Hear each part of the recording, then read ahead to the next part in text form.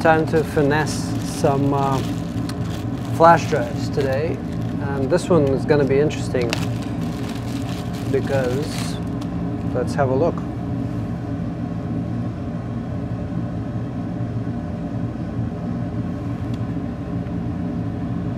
It arrived looking like this. Pretty uh, melted. Connector seems to be really wiggly on. But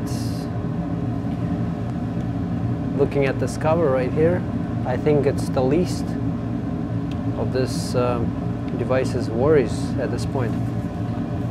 Let's uh, begin by taking it all apart. Uh, this is a really lovely design um, of Lexar flash drives. And uh, they got two little prongs holding this uh, swinging protector. Set them aside.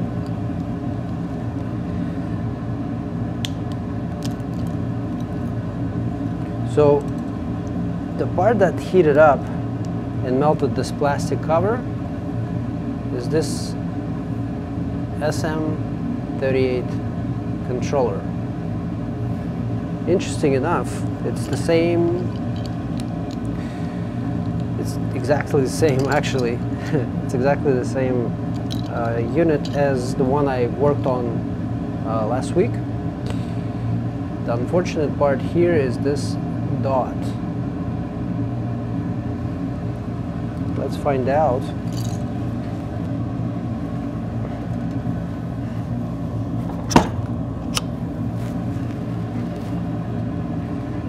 Yeah, let's find out if that is a um, maybe maybe it's not so bad. I thought it was maybe burnt NAND. Made me question things. Uh, okay, so connector does not look healthy. It chipped off all the way, but in a nice way. Actually gonna reuse this board. We're just gonna get a controller for it because I think that's all this unit is gonna need.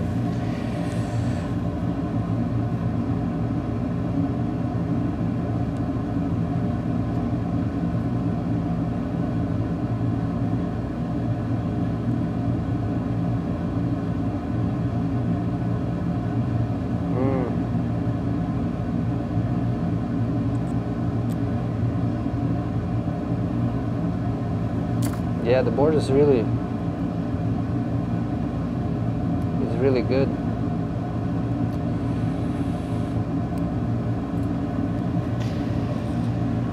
So let's find out why it was creating creating all this ruckus.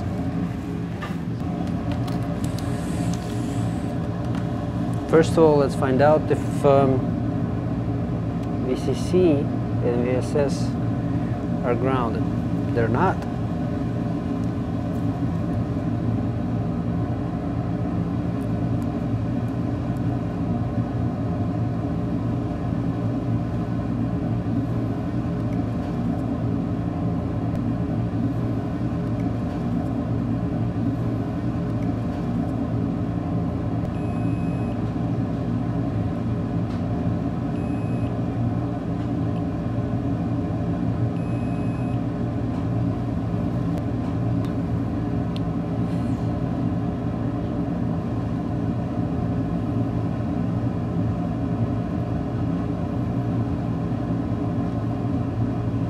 Does it look brown? It actually does look quite brown. Let's um, let's put it to the test. Let's put a connector on here. I left this thing in my ultrasonic bath last night to get it all nice and flux free. I was doing putting it to some substantial amount of work. The last couple of days was filled with gunked up flux. So every now I'm tossing it into um, ultrasonic bath is a really good idea. Let's make it as OEM as possible.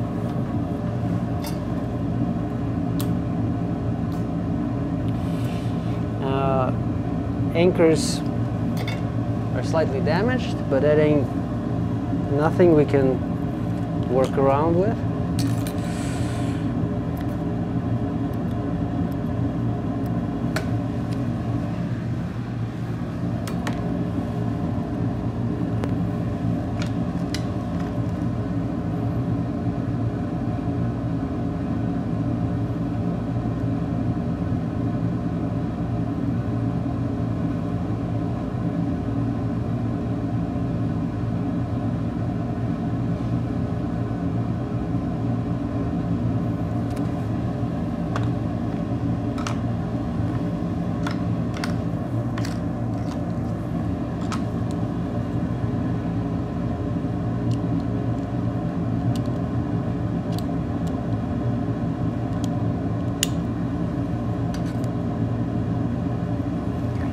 So the only thing that's different about our connector and this board is that these two tabs need to be cut out. We don't need them.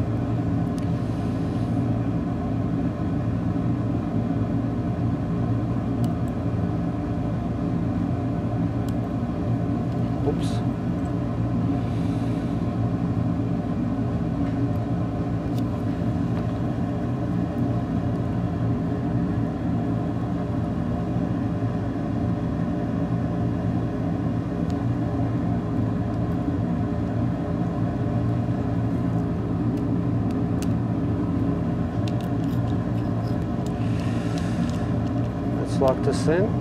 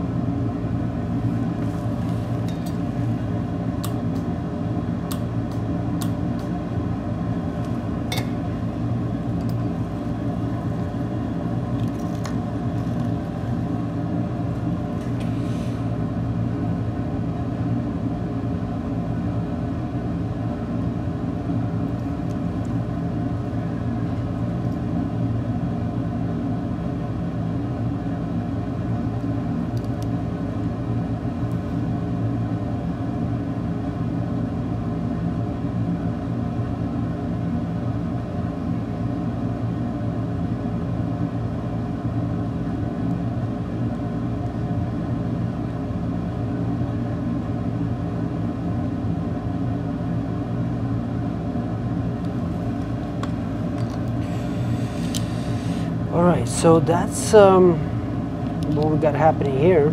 Now, assuming that this cap is shorted and that's the reason why our device is acting up like this, we should be able to um, see it heat up pretty fast.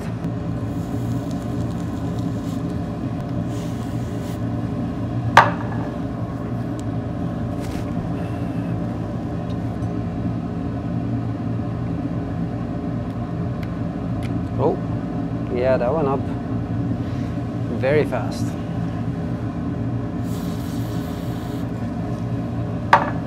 Let's have a look at it again.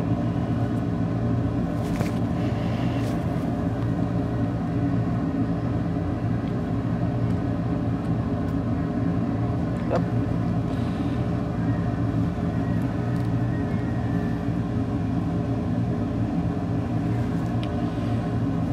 Just gonna take this thing out of here.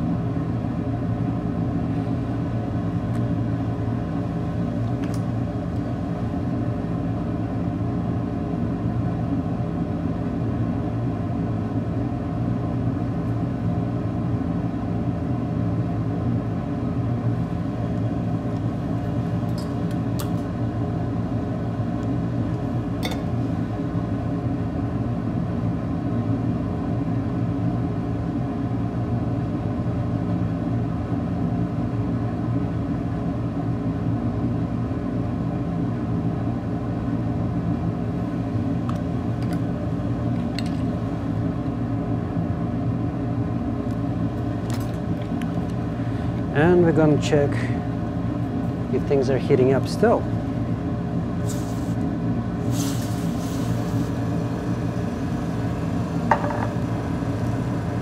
Okay, ready?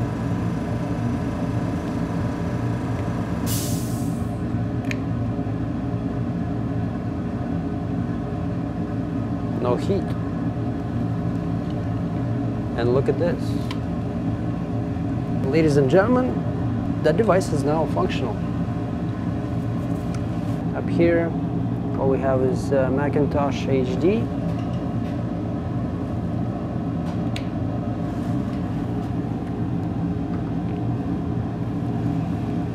and there we go.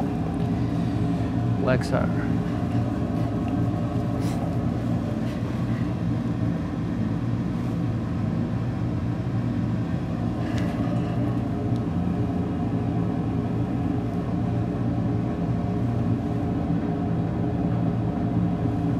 and there's the data